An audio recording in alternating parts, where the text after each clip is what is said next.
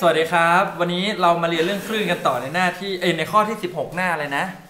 20 of 62 นะครับ แหล่งกำเนิดคลื่นน้ำอาพันธ์ให้หน้าคลื่นวงกลม 2 แหล่งอยู่ห่างกัน 10เซนติเมตรคือตัวอะไรครับ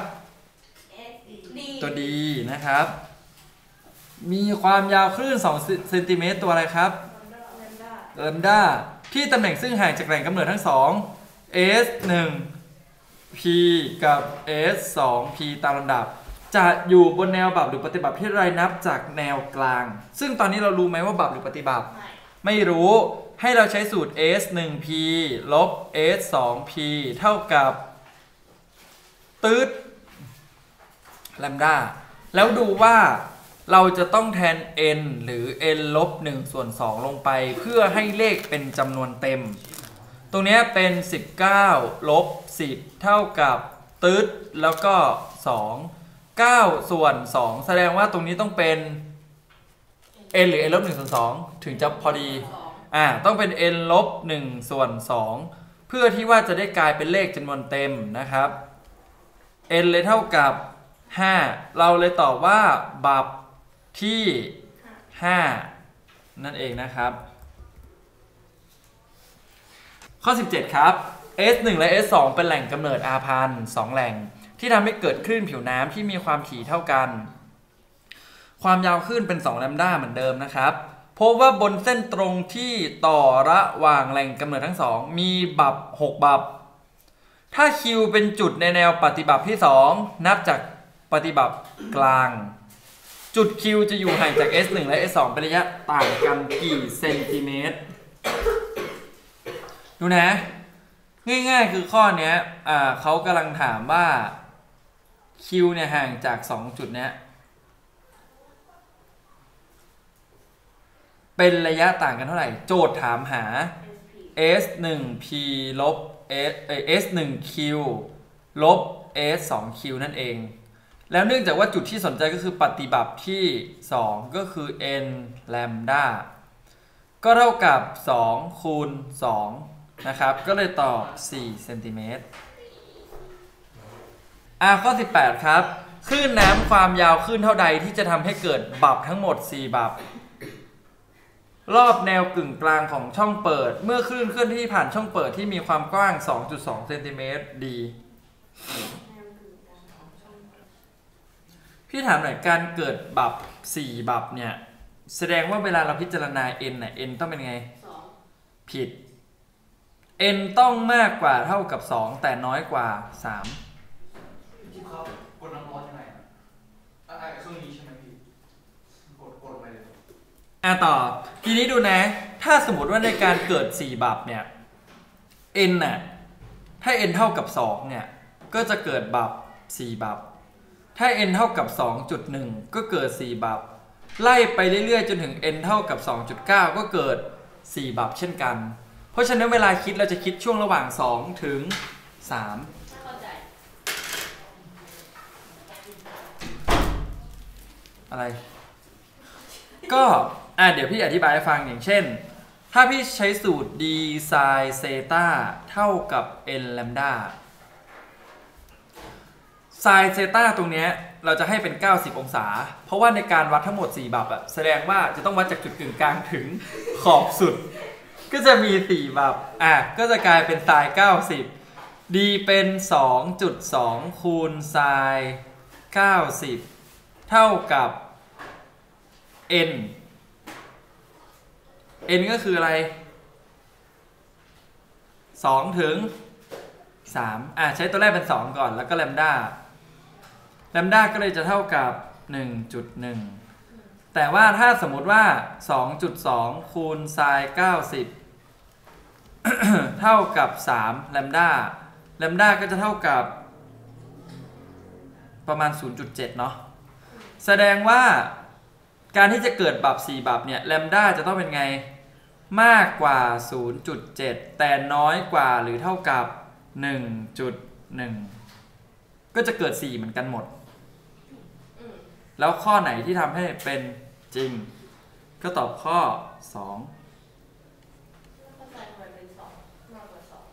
ข้อ 19 นะครับ ถ้าทำให้คลื่นน้ำเคลื่อนที่ผ่านช่องเปิดที่มีความกว้าง 2.2 ตัวอะไรเอ่ย เก่งมากครับตัวดีนะครับ อยากทราบว่าคลื่นน้ำที่มีความยาวคลื่นเท่าไหร่แลมด้าจะแสดงการเลี้ยวเบนได้เด่นชัดที่สุดคำว่าเด่นชัดที่สุดคือแนวปฏิบัติก็คือ A เราจะได้ว่า d ไซน์เซตาเท่ากับ n แลมด้า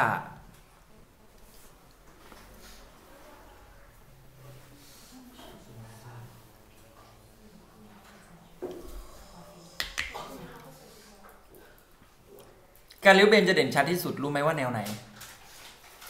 จริงๆอะแนวชัดที่สุดคือ A 0 แต่ A 0 ไม่ต้องหาแล้วแลมด้ามันเป็นศูนย์เพราะฉะนั้นจะใช้1ถึงเดาสองถูกต้อง ในเมื่อเราไม่สามารถใช้ A 0 ได้ เราจะใช้ A 1 ถึง A 2 ในการคิดคำนวณออกมานะครับ เพราะฉะนั้นเราจะได้ว่า 2.2ไซน์90 จะเท่ากับ 1 ที่คูณกับแลมด้าเราจะได้แลมด้าเท่ากับ 2.2 และอีกอันหนึ่งก็คือ 2.2ไซน์90 เท่ากับ 2 แลมด้าแลมด้าจะเท่ากับ 1.1 แสดงว่าแลมด้าที่ทำให้เกิดความชัดที่สุดแลมด้าจะต้องมากกว่า 1.1 แต่น้อยกว่าหรือเท่ากับ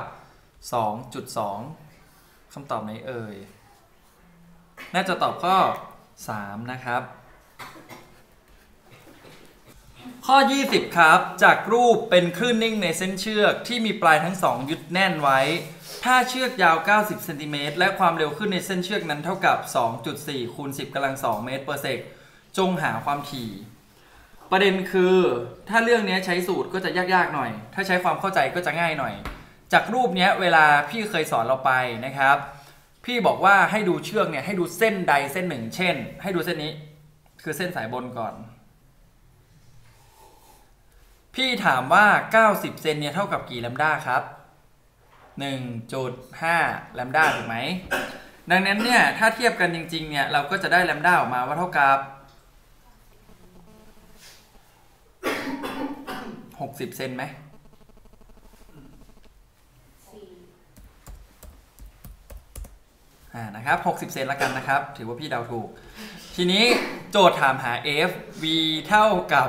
f แลมด้า60 เซนคือ 60คูณ10กำลังลบ 2 เมตรนะครับอ๋อโอเคค่ะ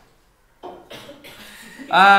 2.4 นะครับ คูณ 10กำลัง 2 เท่ากับ f ที่คูณกับ 60คูณ10กำลังลบ 2 f เลยเท่ากับเท่าไหร่เอ่ยสี่ร้อย อย่าถูกต้องครับ ง่ายๆ แค่นี้เองไม่ต้องจำสูตรนะครับสำหรับคลื่นนิ่ง ให้นับเอา โดยที่อย่าลืมนะ1แลมด้าคือ 360 องศานับอย่างนี้นะ เนี่ย 180 เห็นไหมครับ 360 อันนี้คือ1แลมด้าละ แล้วก็เริ่มใหม่ 180 ก็คือแลมด้าจุด 5 นี่คือวิธีการนับของคลื่นนิ่ง จะง่ายกว่าในการจำสูตร f เท่ากับ nl อะไรก็ว่าไปพี่ไม่อยากให้จำสูตรนะครับ สูตรมันเยอะแล้ว ต่อมานะครับมาดูในหน้าที่ 21 เรื่องเสียงนะครับเขาบอกว่าธรรมชาติของเสียงเสียงเป็นคลื่นตามยาวนะครับ เสียงเป็นคลื่นตามยาวตรงนี้นะครับ เกิดจากการอัดและขยายของตัวกลาง เพื่อให้พลังงานเนี่ยเคลื่อนที่จากแหล่งกำเนิดเสียงไปถึงผู้ฟัง เช่นจากลำโพงไปถึงคนฟังนะครับ สูตรทั่วไปเหมือนคลื่นปกติคือ v เท่ากับ s ส่วน t v กับ f lambda แต่จะมีสูตรพิเศษอยู่นิดนึงก็คือ เสียงเนี่ยความเร็วของมันจะขึ้นอยู่กับอุณหภูมิในหน่วยองศาเซลเซียสนะครับ v เท่ากับ 331 บวก 0.6 คูณ t หรืออาจจะเท่ากับ 20 รูท t ใหญ่ แต่สูตรที่ใช้ปกติคือสูตรที่พี่ครอบสีน้ำเงินไว้ สูตรนี้จำเพิ่มเติมไปหน่อยนึงโจทย์เวียงออกปีเว้นปีนะครับ อัตราเร็วเสียงในอากาศเมื่อเทียบกับอุณหภูมิเคลวิน ก็คือจะเป็นอัตราส่วน แบบแปรผันตรงแต่ถอดรูทนะครับ v 2ส่วน v 1เท่ากับรูท t 2ส่วน t 1สมบัติของคลื่นเสียงเนี่ย ก็มีสมบัติการสะท้อน ซึ่งสมบัติการสะท้อนส่วนใหญ่จะใช้สูตร s เท่ากับ vt แล้วก็อาจจะมีเรื่องพีทาโกรัส อันนี้เราไม่ต้องจำสูตรเพิ่มเติมใดทั้งสิ้น ใช้ความเข้าใจเอา เดี๋ยวพี่จะไปทำให้ดูที่โจทย์นะครับ แล้วก็ เรื่องเรือเคลื่อนที่เข้าหาฝั่งเคยเรียนไหม หรือหน้าผาเนาะอันนี้ก็เป็นอีกอันหนึ่งการหักเหของเสียงเหมือนกับการหักเหของแสงทุกอย่างยกเว้นเพิ่มเติมตรงนี้เห็นไหมรูท t ใหญ่ 1 ส่วน t ใหญ่ 2 อย่าลืมนะครับ t เล็กเป็นเซลเซียส t ใหญ่เป็นเคลวินโอเค การแทรกสอดของเสียงปกติมากก็คือเปลี่ยนจากแถบมืดกับแถบสว่างเป็นเสียงดังกับเสียง เบา ปฏิบัติเรียกเสียงดัง เสียงเบาเรียก เอ้ยปรับเรียกเสียงเบานะครับ การเลี้ยวเบนอะไรเนี่ยเหมือนเดิมหมดเลย ไม่ต้องจำสูตรใหม่นะครับ ก็ข้ามมาได้เลย แต่สิ่งที่สำคัญที่สุดก็คือ มันจะมี 2 ตัวแปรที่เพิ่มขึ้นมา และไม่เหมือนคนอื่นเขาก็คือตัวแปรทีหนึ่1 ตัวแปร i ความเข้มเสียง i เท่ากับ p ส่วน a หรือเท่ากับ p ส่วน4 pi r กำลังสองนะครับ อันนี้คืออันที่ 1 อันที่ 2 ระดับเสียงหรือเบล เบลเท่ากับ 10 ล็อก i ส่วน i 0และต้องจำได้ด้วยว่า i 0มีค่าเท่ากับ 10กำลังลบ 12 อันเนี้ยซึ่งหูคนเราจะได้ยินที่ 0 ถึง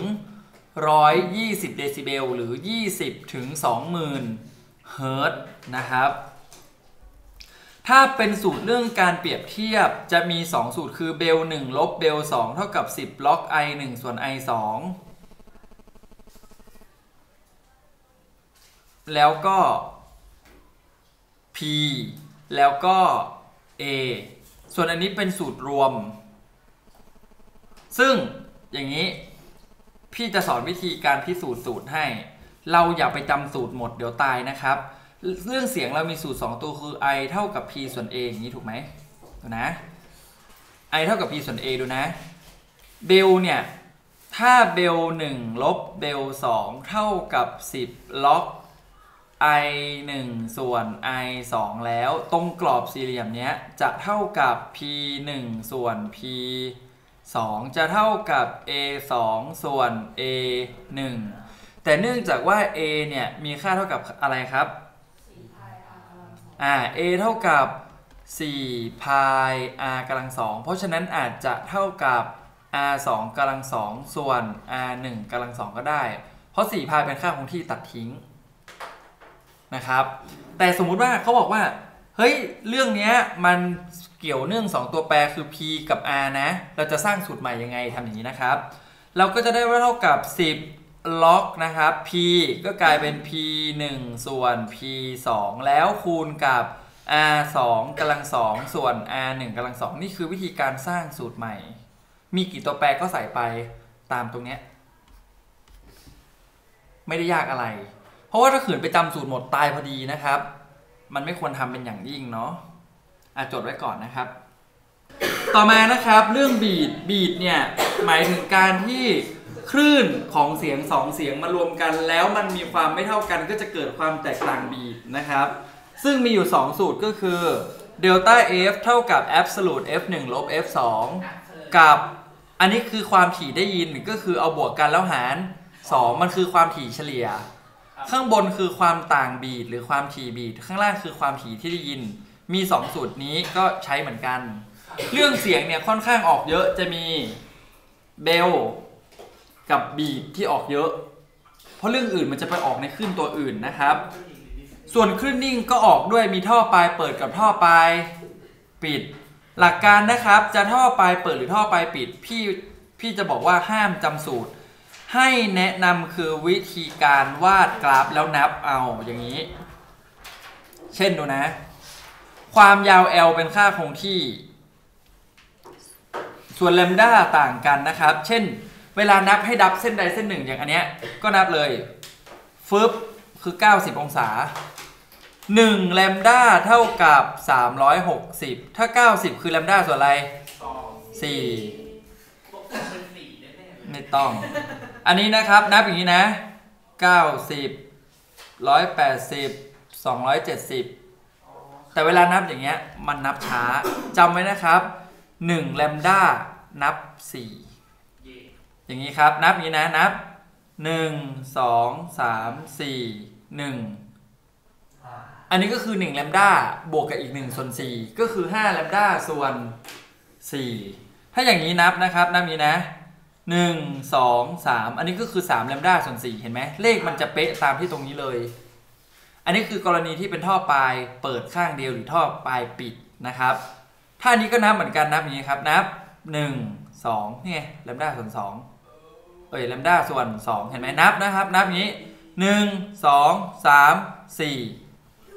ก็คือ L ก็จะเท่ากับแลมด้าเห็นไหมไม่ใช่สองส่วนสองมันมีทุกคนถ้านี้นับอย่างนี้นะครับ นับ 1 2 3 4 5 6 6แลมด้าส่วน 4 ก็คือ3แลมด้าส่วน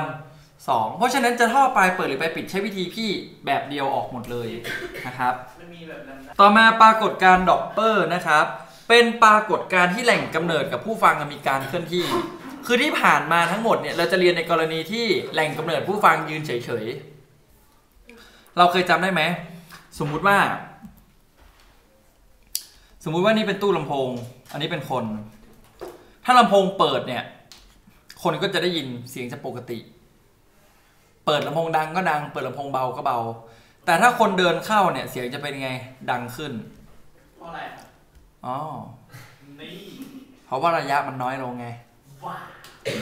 ใช่ไหมแต่ถ้าคนเดินออกเสียงเป็นยังไงเบาจะเบาลง เบาขึ้นได้ไหมชัดมากเลยพี่เบาขึ้นได้ไหมวะ ไม่รู้ช่างแม่งง่าย ๆ คือมันดังกับมันเบา ในกรณีเดียวกันถ้าคนยืนอยู่เฉยๆลำโพงเนี่ยอยู่บนรถเข็นแล้วกัน การแบกลำโพงวิ่งไม่ใช่เรื่องสนุกนะครับ ก็จะมีเข้ากับออกเข้าก็ดังออกก็ดังเบา คนเข้ามันก็เลยดังโอ้ย เราก็จะมีสูตรนี้ออกมาจำได้ไหมมันจะมี v บวกลบ v 0หารด้วย v บวกลบ vs v 0คืออะไรนะวี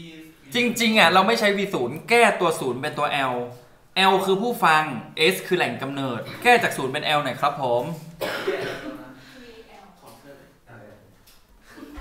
l ไง l มาจากคำว่า listener ผู้ฟัง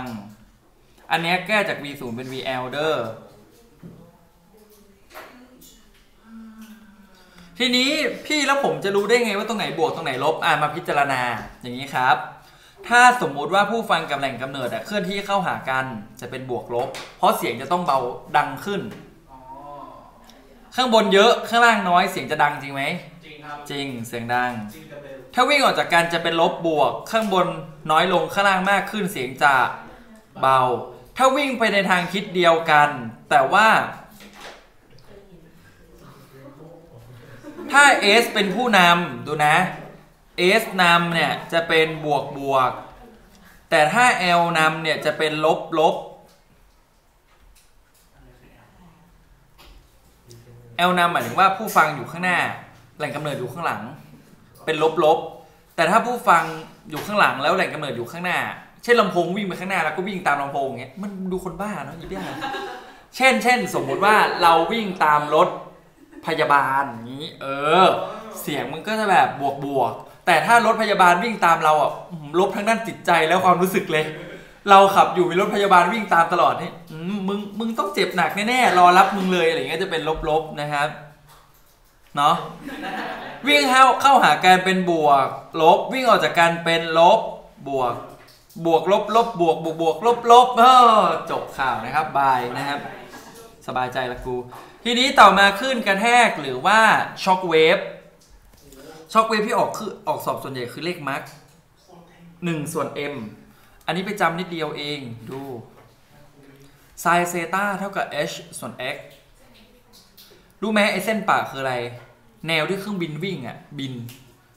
อ๋อเครื่องบินจะบินจากซ้ายไปขวา ขวาไปซ้ายไม่ได้เหรอ ดูรูปสิขอไปซ้ายก็ได้นะ กลับด้านเอานะฮะเย่ อยากสบายใจไหมเดี๋ยวพี่กลับรูปให้ อยากครับ ไม่ได้ถาม v ส่วน vs แล้วก็ 1 ส่วน m ส่วนสูตรข้างล่างไม่ต้องจำนะครับ เพราะอะไรครับ ไม่อยาก นั่นไงอืมอะ เรามาดูแบบฝึกหัดกันเรโซแนนซ์ไม่สอน resonance ไม่ออกทำข้อแรกเร็ว ข้อหนึ่งนะครับ คลื่นเสียงมีความยาวคลื่น600 เฮิรตซ์ มีความเร็วเฟส 360 เมตร per sec ตำแหน่ง 2 ตำแหน่งบนคลื่นที่มีเฟสต่างกัน 60 จะอยู่ห่างกันเท่าไหร่ อย่างที่พี่เคยบอกไปว่า 1 แลมด้าเท่ากับ 360 องศา หาแลมด้ามาก่อน เพราะเราต้องการหาหาแค่กี่องศา 60 มันคือแลมด้าส่วนอะไรนั่นเอง เอ้ยหก 6อ่าจาก v เท่ากับ f ลมด้า360 เท่ากับ 600แลมด้าแลมด้าเลยเท่ากับเท่าไหร่ 0.6 เมตร ดังนั้นแลมด้าเลยเท่ากับ 0.1 เมตรครับ ก็คือ 10 เซนต่อข้อ 1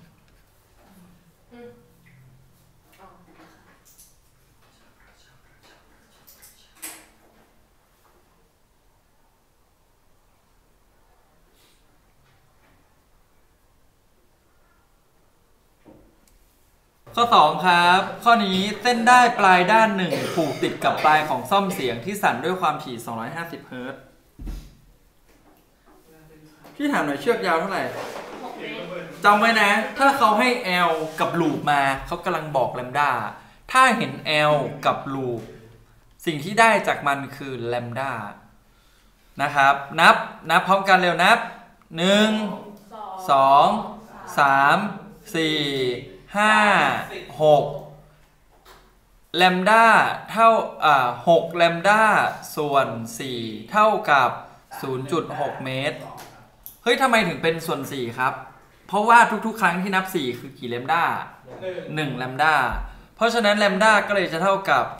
0.4 แล้วเขาก็บอกว่า f เท่ากับ 250 โจทย์ถามแค่ว่า v เป็นเท่าไหร่ so easy มาก v เท่ากับ f แลมด้าก็เลยตอบเท่าไหร่เลยครับ 100พี่บอกเลยเรื่องคลื่นอะถ้าเข้าใจนิดๆหน่อยๆนะทำได้100%แน่นอนครับผม ข้อ 3 ครับเทอร์โมมิเตอร์1ทำงานโดยใช้หลักการของการกำทร และการที่ความเร็วเสียงเนี่ยเปลี่ยนไปตามอุณหภูมิ นี่กลัวเราจำสูตรไม่ได้ด้วยใจดีเวอร์นะครับโอ้อะไรใจดีแต่ตกจกตกใจมึงเนี่ยครับผม เราก็เราหา v เลยโดยการแทนอะไรลงไป 31 ผิดต้องตอบว่าแทนค่าลงไปในสูตร นี่สี่ถึงจะถูกเออ v เลยเท่ากับเอาเลยโอ้ย v เท่ากับเท่าไหร่สามสามหนึ่งครับบวกศูนย์จุดหกกูคูณเองก็ได้สามสิบเอ็ดจุดเจ็ดเจ็ดตำแหน่งละเท่านั้นแหละห้าสามห้าศูนย์เออ350.02โอ้โห เล่นเป๊ะเวอร์เป๊ะก็ บ้าแล้วนะครับ แต่เราจะประมาณเอาเป็น 350นั่นแหละ ไม่ได้ข้อนี้เป็นข้อสอบเติมคำประมาณมาได้รู้เอได้ไงอมันมันมี choiceพี่จิ๊บอาจจะตัด choice ออกเลยไม่พี่ไม่ตัด ไม่ข้อไหนมี choice ก็จะมี choice อย่างเงี้ย ดูข้อ8ข้างๆสิเห็นไหมอันนี้จริงจัง อันนี้พี่ก๊อปโจทย์มาจากแต่ละปีเลย จริงจังนี่ต้องโชว์ตูดนะอ่าดูต่อนะครับ ถ้าสมมุติว่าหลอดกำธรมีการขยายตัวเนื่องจากอุณหภูมิน้อยมาก และการกำธรมีความถี่ 500 เฮิรตซ์เกิดที่อุณหภูมิ 31.7 องศา จงหาอุณหภูมิที่เทอร์โมมิเตอร์นี้ เมื่อกำธรด้วย 600 เออ ทีเนี้ยมันมีสูตรว่า v เท่ากับอะไร v เท่ากับ f แลมดา v เท่ากับ 350 เท่ากับ 500 แล้วก็กเป็นแลมดา ก็ศูนย์สองนี่ ไม่เอาอะเพราะปัดไปมันก็ไม่น่าจะได้พี่ต้องเป๊ะเออใช่เอาจริงเหรอ ไม่เอา ไม่เอา เอาเอาเนี่ยดอยเนี่ยก็อ้อยจะอีก็จะกลายเป็น 350 ส่วน 500 เก็บไว้ก่อนนะครับ จากนั้นเขาถามว่าอุณหภูมิเท่าไหร่ที่ 600 เฮิรตซ์จำไว้นะ ถ้าลักษณะนี้คือแลมดาคงที่ แล้วก็ไปใส่ว่า v เท่ากับ f แลมด้า3 3 1 บวก 0.6 คูณ t เล็ก เท่ากับ 600 ที่คูณกับ 350จุด02 ส่วน 500 เดี๋ยวนักเรียนไม่สบายใจนะครับ เพราะว่าข้อสอบเติมทำไม่ควรจะปัดนะฮะ รู้ไหมว่าเขาจะตอบว่าอะไร 148 องศาเซลเซียส เขาบอกว่าให้ตอบเป็นเลขจำนวนเต็มโดยไม่ปัดได้เท่านี้นะครับทำไมเป็น148 เอ้ยทีทีขอโทษอุณหภูมิเท่านี้นิดเดียวครับโอ้ร้อยเฮิร์ตนี่อุณหภูมิต่างกันทั้งโคตรเยอะเลยเนาะร้อยสิบองศากว่า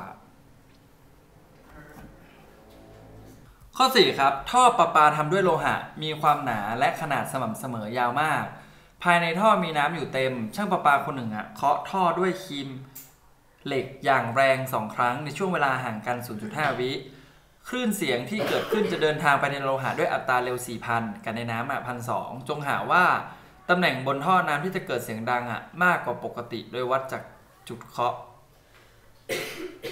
คือหาจุดอะไรบับหรือปฏิบัติครับ ปฏิบัติครับ ปฏิบัติ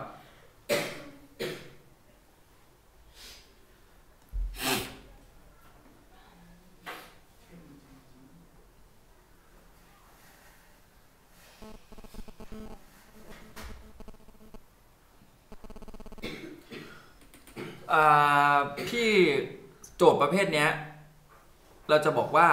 การที่เสียงเดินทางในตัวกลางต่างกันเนี่ย มันจะทำให้เกิดความเร็วเสียงอะที่ไม่เท่ากันพอเกิดความเร็วเสียงที่ไม่เท่ากัน มันจะทำให้การเคาะหนึ่งครั้งอะเกิดเสียงดังสองครั้ง ครั้งแรกคือเสียงเดินทางมากับเหล็กอะไรเงี้ยนะครับ ครั้งที่สองเสียงเดินทางมากับอากาศ เข้าใจละ คืออย่างนี้มันเคาะสองครั้ง แล้วถามว่าสองครั้งนั้นน่ะ ระยะทางห่างกันเท่าไหร่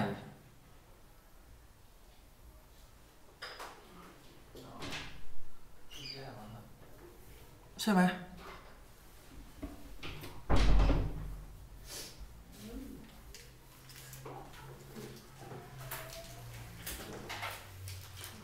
ครั้งแรกเสียงมากับอะไรนะ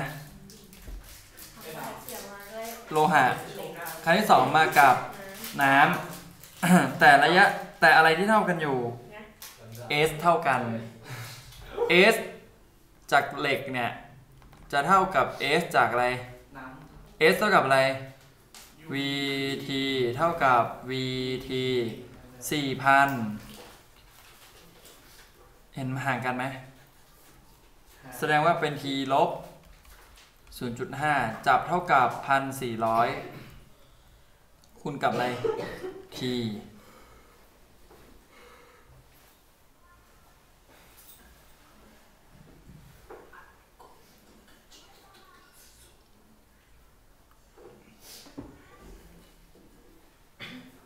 ตัด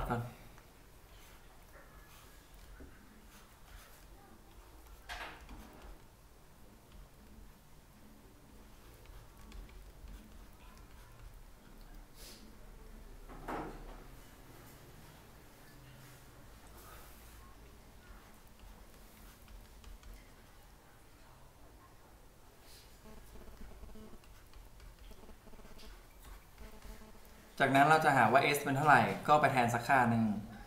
s เท่ากับ vt เท่ากับ 1,400คูณ10 ส่วน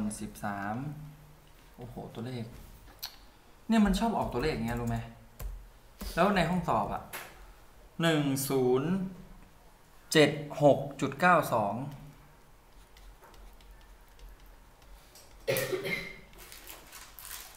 ข้อ 5 ครับ ปล่อยก้อนหินลงไปในบ่อลึก 20 เมตร พบว่าอีก 2.06 วินาทีต่อมาได้ยินเสียงก้อนหินกระทบก้นบ่อ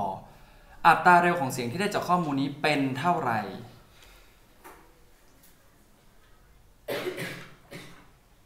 มันจะคิดสองแบบคือขาลง ขาขึ้น ขาลงมีทีหนึ่งขาขึ้นมีทีสองแต่ว่าทีหนึ่งบวกกับทีสองอะเท่ากับ 2.06 เวลาเราคิดเสียงเนี่ย คิดตอนขาขึ้น ถูกไหมอัตราเร็วของเสียงแสดงว่าคิดจากทีสอง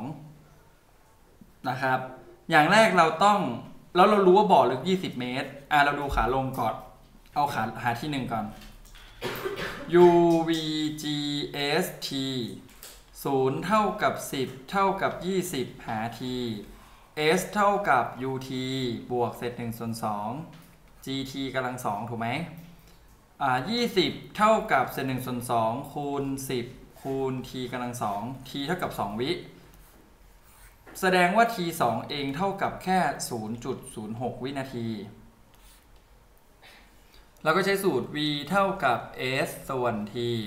ก็จะกลายเป็น 20 หารด้วย 0.06 เพราะฉะนั้น v ก็จะเท่ากับสามสามสาม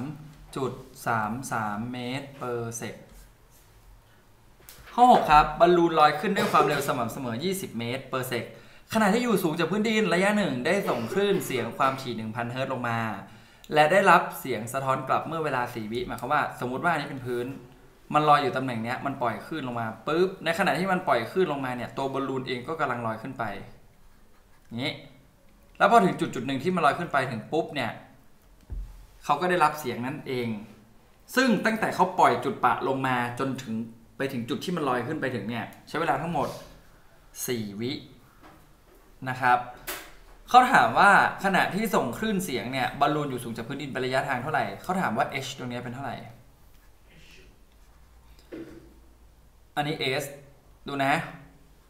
4 วินาทีเนี่ยเสียงเดินทางแบบนี้นะครับ h บวก h บวก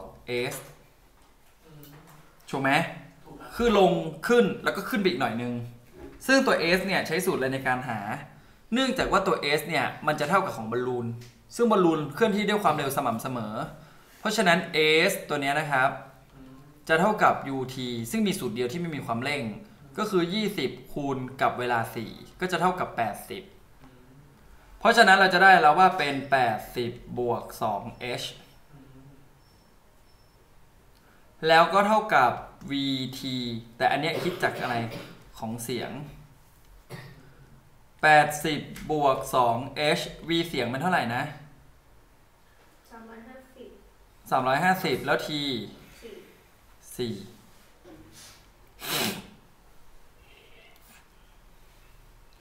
80 บวก 2h เท่ากับ 1,400 2h เท่ากับ 1,320 h เลยเท่ากับ 660 เมตร ข้อ 7 แหล่งกำเนิดเสียงอยู่ห่างจากกำแพง 1.5 เมตร ผู้สังเกตยืนห่างจากกำแพงออกไป 5 เมตร หมายความว่าอย่างนี้ สมมติเรามีกำแพงวาดรูปนะครับกำแพง มีลำโพง ห่างเท่าไหร่ 1.5 แต่ว่าคนยืนฟังห่างเท่าไหร่ครับ 5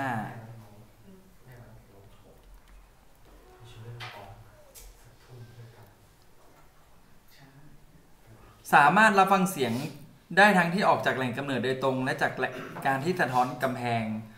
V เขากำหนดให้เป็น 348 เขาบอกว่าความถี่ต่ำสุดของแหล่งกำเนิดเสียงที่ทำให้ผู้สังเกตได้ยินเสียงค่อยที่สุดมีค่ากี่เฮิรตซ์เสียงค่อยคืออะไร บับ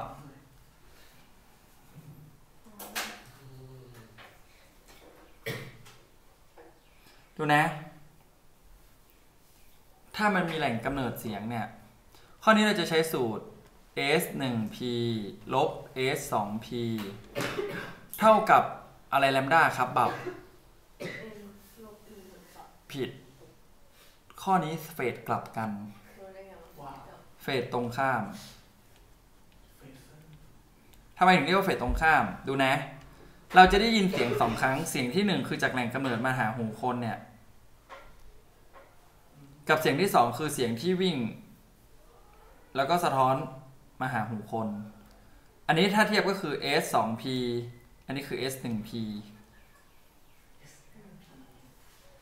พี่รู้ได้ไงว่ากับเฟสเสียงเดินทางหากำแพง มีอะไรผูกมัดไหม กำแพงถูกนะ แสดงว่าถ้าเข้า 180 ออกมาก็ต้องกลับเฟสก็เลยเป็นเฟสตรงข้าม เฟสตรงข้ามบับมีสูตรเป็น n ล a มดานี่คือความยากของข้อนี้แค่นี้เอง จากนั้น s 1 p กับ s 2 p ก็จะเป็นเท่าไหร่ 3.5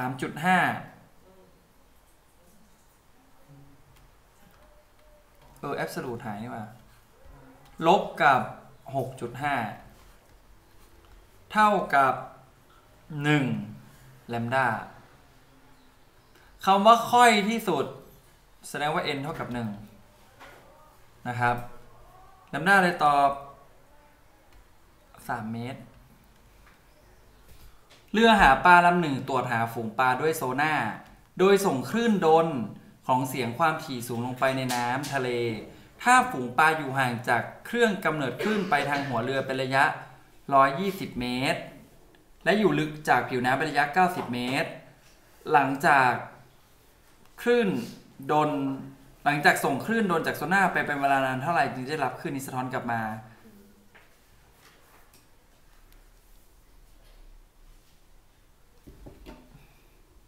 S คือตัวนี้ นี่คือ S ซึ่งเท่ากับเท่าไหร่ร้อยห้าสิบเข้าหา T S เท่ากับ V T T ก็เท่ากับ S ส่วน V เท่ากับร้อยห้าสิบหารพันห้าร้อยคูณสองไหมคูณสองด้วยไปกับ ตัดตัดเหลือสิบตอบศูนย์จุดสองข้อเก้าครับ เรือลำน้ำเรือลำหนึ่งวิ่งเข้าหาเอาน้ำมาจากไหนเนี่ยไม่ เรือลำหนึ่งวิ่งเข้าหาหน้าผาเรียบด้วยความเร็ว 10 เมตรต่อวินาที เมื่อเปิดวูดขึ้นคนในเรือได้ยินเสียงวูดสะท้อนจากหน้าผาในเวลา 2 วิ ถ้าขนาดนั้นความเร็วเสียงอากาศเป็น350 ขณะเปิดวูดเรือห่างจากหน้าผาระยะทางเท่าไหร่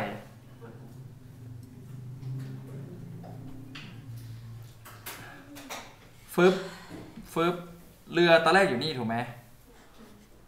เรือเคลื่อนที่ด้วยความเร็ว 10 เมตรต่อวิฟึบ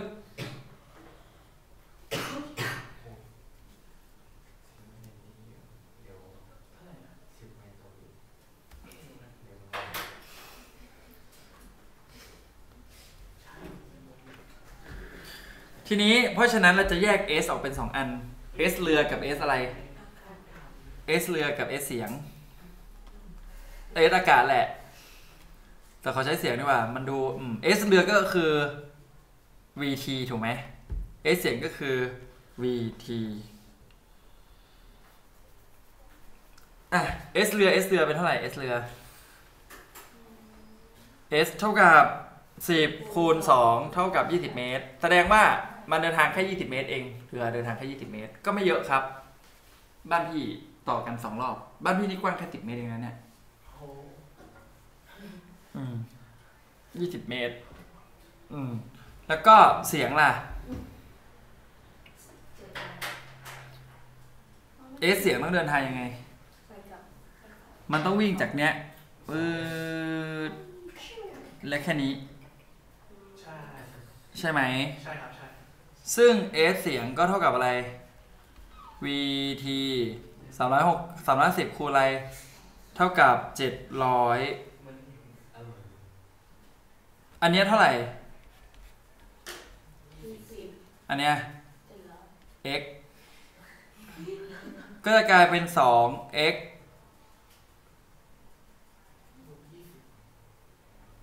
ลบ 20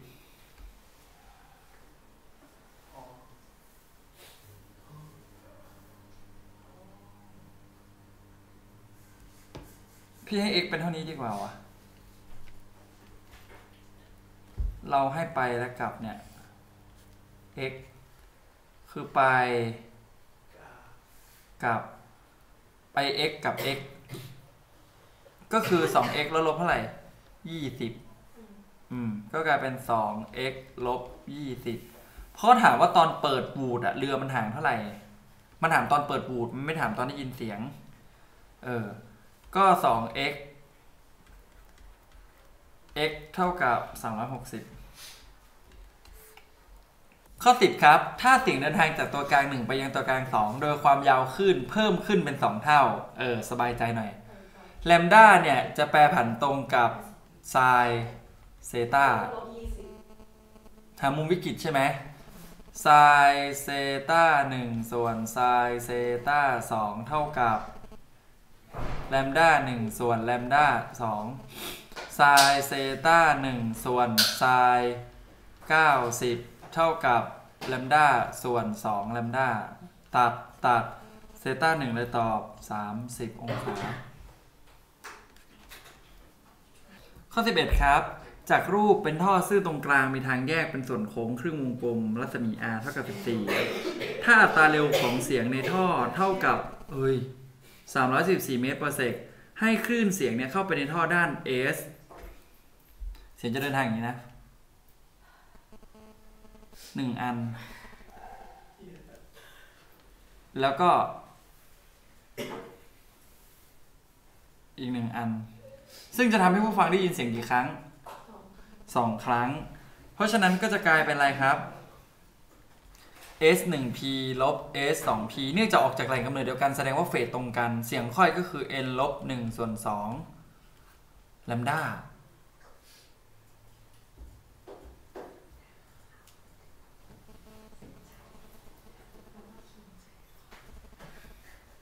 หาแลมด้าก่อน v เท่ากับ f แลมด้าแลมด้าเท่ากับ 344 ส่วน f ก็เอาตัวเนี้ยเข้าไปแทน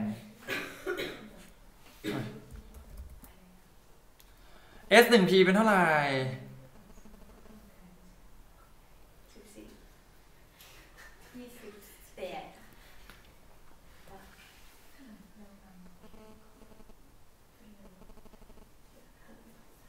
พี่ถามก่อนดูนะ ถ้าเราคิดเนี่ย ถ้าเราคิดแบบตรงไปตรงมาไม่มีทางออกเลย เพราะว่า ท่อตรงเนี้ย เรารู้ระยะไหม ไม่รู้ ตรงนี้ไม่รู้ระยะ ตรงนี้ไม่รู้ระยะ แต่รู้แต่ว่าเส้นสีฟ้ากับสีส้มระยะเป็นยังไงกัน เท่ากัน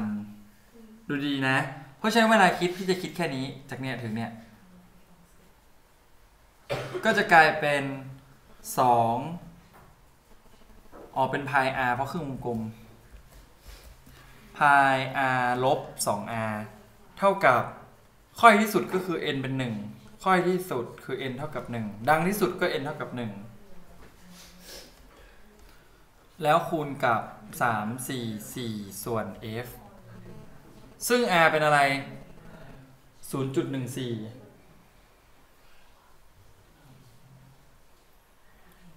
ม่มาเลย r เป็น 0.14 นะครับ อย่างนี้นะครับ ซึ่งถ้าคำนวณเลขได้ f หรือยัง ได้แล้ว f ตอบ 1076เฮิร์ตซ์ครับ เนี่ย ข้ออย่างเงี้ยมันควรทำไหมควรเลขพูดแย่โอเค วันนี้เลิกแค่นี้ครับ